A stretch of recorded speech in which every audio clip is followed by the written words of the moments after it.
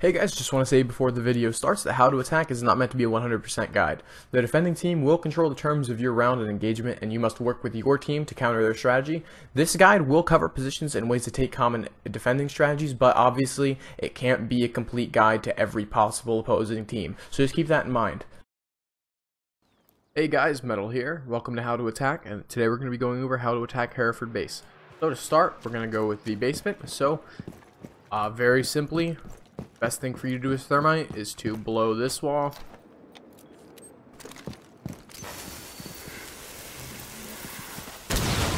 And blow this wall. The first thing you want to do after that is you want to take lockers. You want to prevent a flank. You want to prevent someone from hanging out around there. You want people inside of lockers. Now, from here, you're going to want to take into the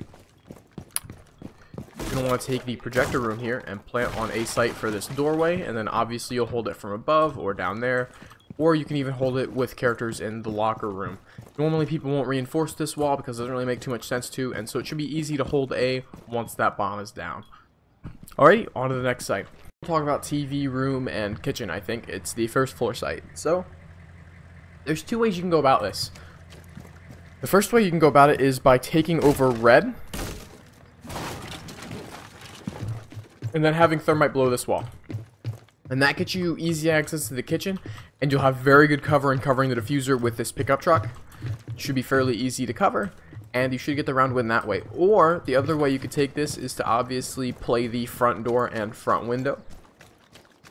This way you actually really don't even need to bring thermite on your roster, and can free up your operator selection.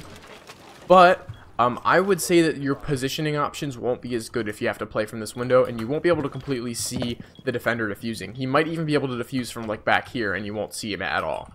So, um, that's just kind of a preference choice. I think either one can work, planning at B or A. But, um, like I said, just preference. So, either work from this window and work from the front door, or work from red.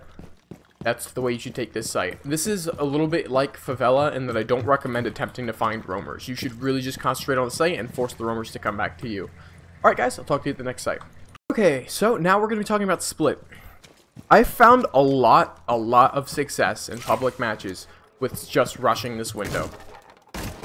Because a lot of times the team will still be getting set up, You'll just push right in. There'll be one, maybe two people actually in this room. You'll be able to take it. There's only one entrance. You can plant the bomb and then just sit here and watch this door. It is super easy to hold that way. However, if you don't have very good luck with that, I would still recommend trying to take this room. Even if you want to blow the wall down there with thermite and plant here, it's still valuable to control this room so you can shoot through the floor and kill bandit or prevent breach or prevent batteries or mute jammers from stopping the breach.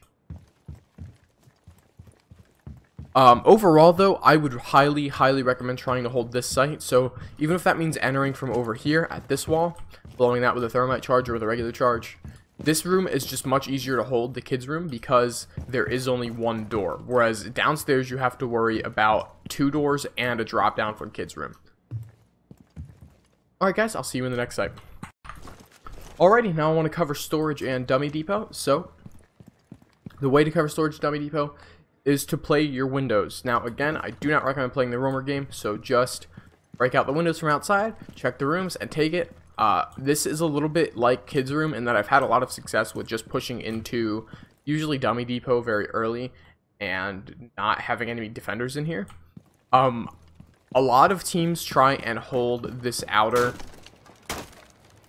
ledge here of the terrace, but I mean, I would say that the problem with the terrace is that it's very just easy to, like, you don't control much of anything from the terrace itself because the bomb sites are on the opposite side of the roof.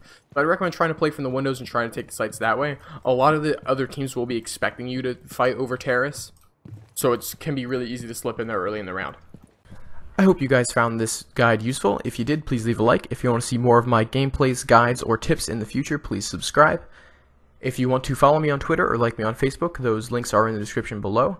If you want to game or chat with myself and other fans, please join the official Discord. Again, link in the description. If you really enjoy my content and want to help me continue to do this full time, please support me on Patreon. Have a great one, everyone.